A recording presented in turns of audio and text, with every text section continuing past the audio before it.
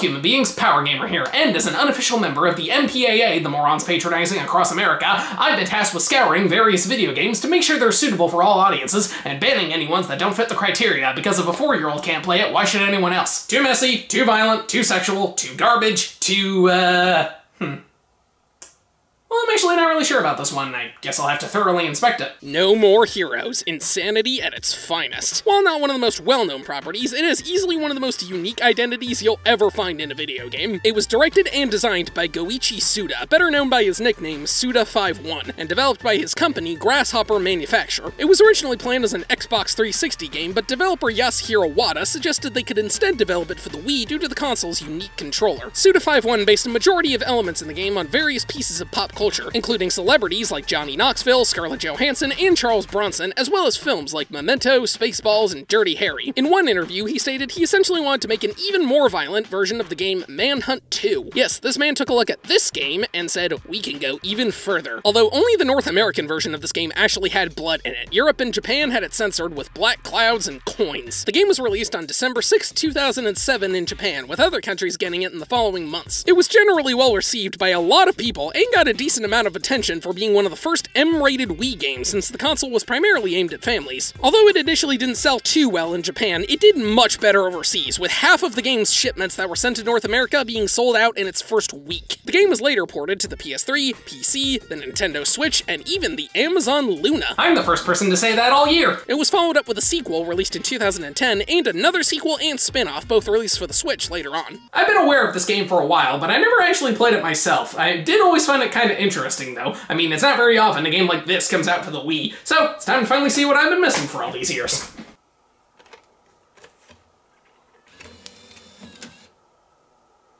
The game follows Travis Touchdown, a stereotypical otaku obsessed with anime, video games, and wrestling who lives in the fictional town of Santa Destroya. After winning an internet auction for a beam katana, the friendliest form of plagiarism I've ever seen, Travis winds up out of money. So he does what any broke 20-year-old would do, turn to murder. Travis meets a woman named Sylvia, and she convinces him to join the United Assassins Association, or UAA. Under her recommendation, he strives to become the number one rated assassin in the world, because he believes if he does so, he'll be able to play some poker with her. Yeah, the story's pretty ridiculous, but that's totally the point. This game knows what it is, and it goes all the way with it. It is an absurd, over-the-top gore fest with a distinct anime style, comedic writing, and more blood than Mortal Kombat's time of the month. Travis may look like a badass, but he is the durability of a freaking cartoon character. He gets blasted, beaten, and blown up multiple times and isn't affected at all. This game is dumb fun in all the right ways and never takes itself too seriously, and I really like that. I mean, what else would you expect from the guy who went on to make a game where you play as a cheerleader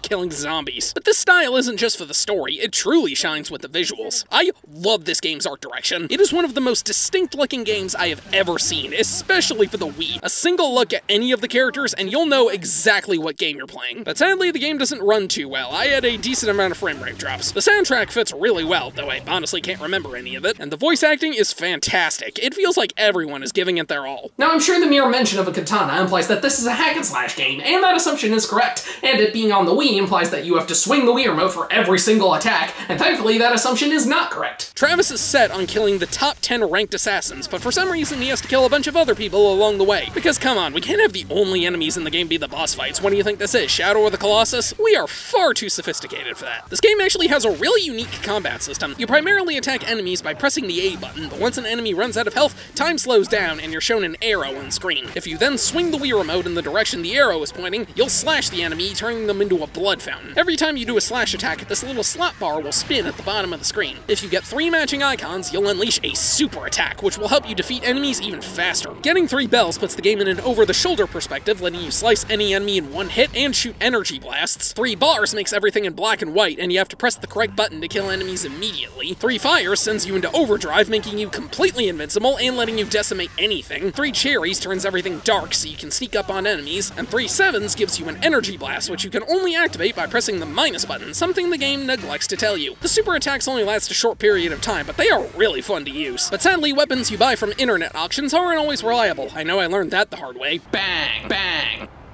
bang, bang, bang. Every time you strike an enemy with the beam katana, some of its battery will be drained. Once it runs out, it's as useful as a wet twig. So you have to keep recharging it by pressing the one button and swinging the Wii remote back and forth. You can do this as much as you want, so as long as you're paying attention, you should be fine. And yes, we all know it looks like Travis is shaking a bottle of soda when he does it. And if you hold the A button, you can charge your attack, letting you do more damage, although it takes a lot of battery life. But the beam katana isn't your only method of defense. If you press the B button, you punch or kick the enemy, which can make them dizzy. If they see stars, you can press the B button again to perform a wrestling move by shifting the Wii remote and nunchuck in the corresponding directions. Doing this will remove a huge chunk of health, and if it doesn't outright kill them, you can then press the A button to finish them off with a direct stab to the face. I definitely prefer using the standard attack, but the wrestling moves are still a cool way to take out enemies. You can use the Z button to lock on enemies, block their attacks, and dodge out of the way by pressing the D-pad. If you dodge at just the right time, they'll freeze, letting you kill them easily. I guess Bayonetta isn't the only one capable of witch time. There's four types of enemies that you'll typically run into. Ones with no weapons, ones with guns that run away like a little wuss, ones with melee weapons, and ones with these annoying purple bars that can easily block your attacks. You have two different stances of attacks, high and low, which one you're using is determined by holding the Wii remote horizontally or vertically. Depending on how enemies with weapons are holding them, they can block your attacks, which wastes battery life. So you'll want to be cautious until you figure out what stance you need to use, because otherwise you'll just waste time and energy. But if you and an enemy clash weapons at the exact same time, you'll then enter duel mode where you have to spin the Wii remote around in circles as fast as possible. If you overpower the enemy, you'll be able to slash them, knocking them out immediately. The combat for this game is overall really fun. Sure, it's pretty simple, but it's insanely fast paced, and the fact that you're spilling blood every 5 seconds makes it super chaotic. It's really addicting trying to kill enemies as fast as possible. My only complaint is that sometimes the wrestling moves and finishers can be a bit finicky. There were multiple times where I was pressing the button and it just did not count. But all this time I've been talking about the combat. Most games of this genre typically break up combat sequences with puzzles in between. This one, however, does something very, very different. The combat sequences are all split into separate levels, and each of them end with a boss fight against the assassin ranked above Travis. Every time he kills one, he talks with Sylvia for a bit, and then you're sent back to the motel he lives in. And when you step outside, the game becomes a watered down GTA clone. You have to travel around Santa Destroy on Travis's ridiculous looking motorcycle. I smell compensation!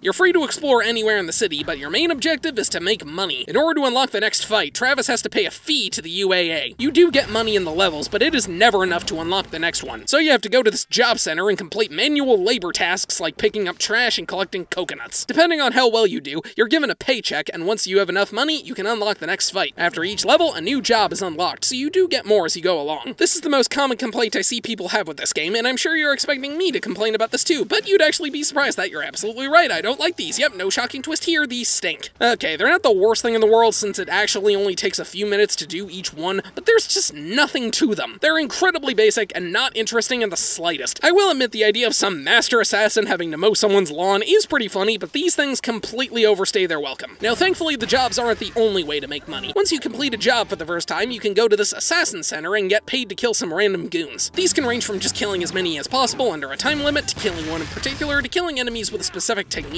These are much more fun since they actually relate to what the game is about, and they make a lot more money. But even these can overstay their welcome, since there aren't that many of them and you have to do them constantly. It wouldn't be so bad if it wasn't for the fact that traveling around the city gets pretty tedious. It's not that big, and you always have access to Travis's motorcycle, but there's no way to fast travel in this game. You have to drive to every single location you want to go to, and there aren't that many things to do in the overworld. You're just going from place to place. Hell, you spend more time traveling than actually doing your tasks, because first you have to go to the correct center, inside, select a job or mission, go to the spot marked on the map, do your task, and then go all the way back to do another one if you still need more money. You have to do this for every single level, and it can take just as long to raise money, if not longer, than the actual combat sequences and boss fights. So roaming around the city and doing random odd jobs and assassination missions literally takes up half of the game. Even when you have all the money you need, you don't just get the next mission right away. No, no, no, no, no, no. You have to drive to an ATM, deposit the money, then go to the motel, which is thankfully right next to it, but still, go inside and get a call from Sylvia, and then you can finally go to the location of the next fight. Why? That just overcomplicates things. Why couldn't I just get the call at the ATM, or better yet, just give me the option to pay as soon as I get the money? Each aspect of this whole process doesn't take long on its own, but it all adds up to just drag on for way too long. Wrong. It doesn't feel fun, it feels like padding. Thankfully, there are other places in town you can go to where you can spend your money on upgrades. There's Dr. Naomi's lab who will sell you new beam katanas and parts that increase your attack and battery life, Ryu's gym where you can lift weights and do squats to increase your combos, health, and strength, the Beefhead, which is a video store that sells you tapes letting you learn new wrestling moves, the Area 51 clothing store, which just sells you clothes, yeah, I never bought any since they're purely cosmetic, and the bar. The bar has this drunk old man who will teach you new wrestling moves if you bring him seven of these Lovikov balls that are scattered across Santa Destroya. Honestly, I didn't feel the need to do this. You get enough wrestling moves from the tapes and progressing throughout the game. This just felt like a waste of time to me. And speaking of a waste of time, most of these upgrades are quite expensive, so if you want to get them, which I'm sure that you do, you have to do more jobs and more assassination missions. Lovely. But wait, there's also these free fight missions you unlock after doing jobs where you have to kill a bunch of enemies without getting hit once.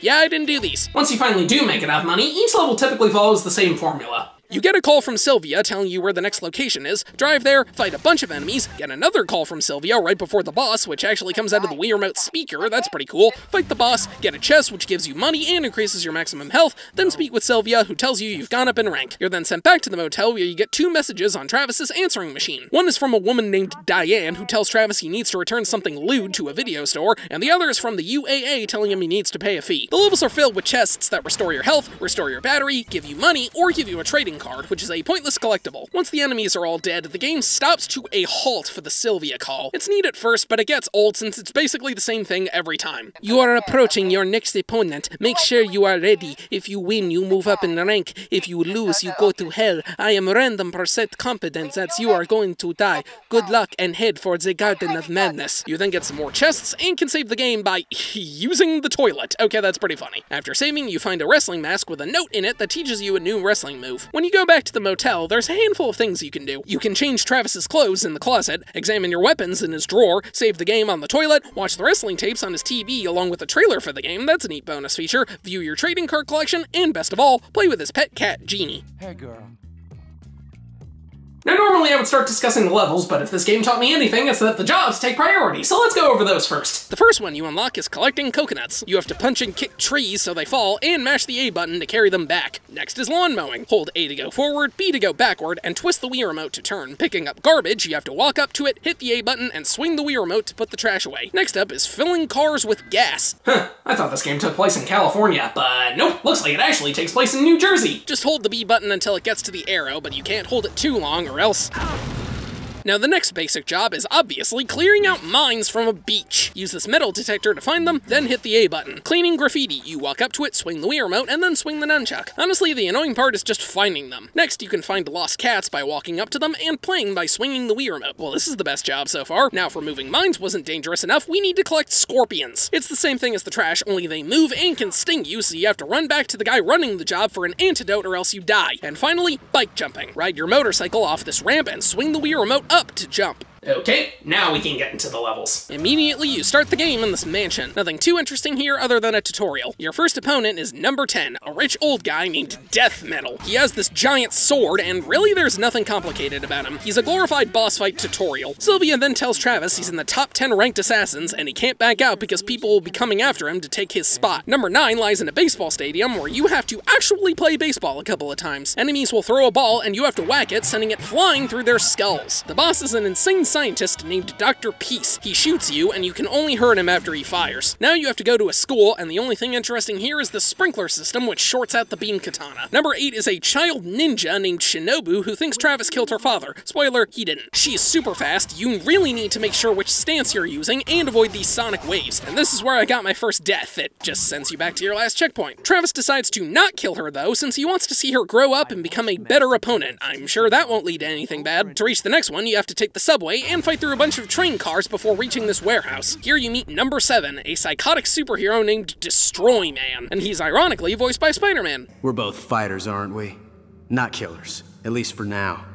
This is a sign of sportsmanship, that we respect each other before and after the fight. He shocks at you, slams the ground, shoots energy blasts, and fires a giant laser. And now Travis is back to murder. Number 6 is on a beach which is filled with landmines because of course it is. She's a model slash war vet with a prosthetic leg named Holly Summers. She hits you with a shovel, fires missiles at you, where is she keeping these things, and digs holes to trap you. Travis is hesitant to kill her, so she just blows up her head, leading Travis to bury her. I know it sounds like I'm just glossing over the levels, but there's really not much to say about them aside from the boss fights. You fight a bunch of enemies, enemies?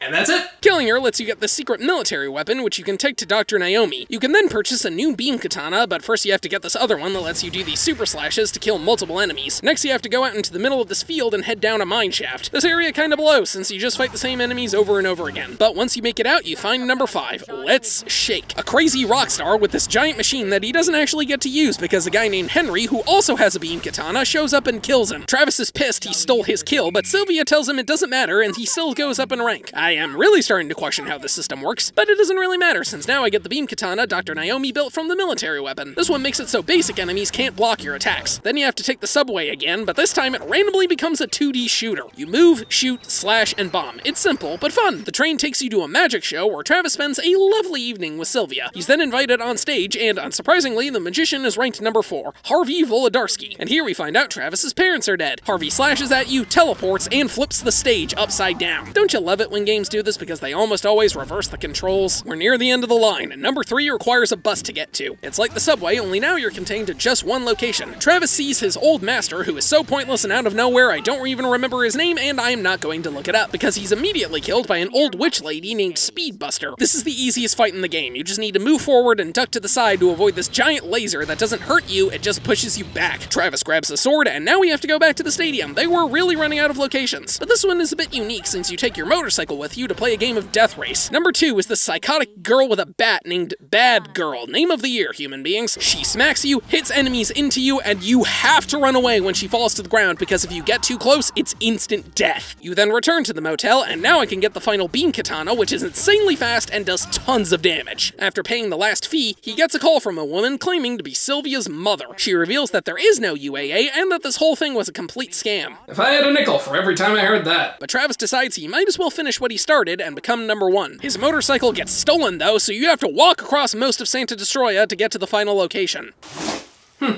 That was a lot more padding than necessary. Get the motorcycle back, board the highway and avoid crates, and make your way through this forest where you have to pick the correct paths or else it repeats. Then you finally make it to the invisible castle of Darkstar, the number one ranked assassin in the world. Here he claims that he's Travis's father. What a twist! We get a flashback and find out Travis met Sylvia in a bar after his parents were killed, and he actually set out on this quest for revenge. But then Darkstar is killed prematurely by this girl. She reveals that Darkstar isn't Travis's father because she's the one who killed his parents. Travis asks her why she killed them, and we fast forward through her backstory. okay, that is hilarious. And it's revealed that she is Travis's sister, Jeane. What a twist! Now it's time to settle this once and for all. She moves insanely fast and dodges most of your attacks, so you really need to rely on charge attacks. The two are neck and neck, but then Shinobu comes out of nowhere and cuts off Jeane's hands, allowing Travis to kill her. The old Deus Ex Machina. With that, Travis has officially become the number one ranked assassin, but he sadly didn't get that poker game he was promised. Travis returns home to use the toilet, as one does after almost being murdered, and if you choose the real ending, he'll be attacked by some dude and saved by Henry. He tells Travis to meet him outside, and wait, we're still going? Yep, Henry is the real final boss, and he dodges your attacks like Jeane and has instant death like Bad Girl. Once you beat him, he reveals he's Travis's twin brother, and Sylvia is his wife. Yeah, I'm not doing the twist thing again. It doesn't deserve it. Turns out Sylvia has a habit of conning people since Henry doesn't make enough money. Travis implies he actually did play poker with Sylvia, and the two run off and clash swords. We freeze frame as the credits roll, and then it zooms out to reveal a painting being looked at by Sylvia and her daughter, who is also named Jeane, and then it just stops? Well, that was an ending.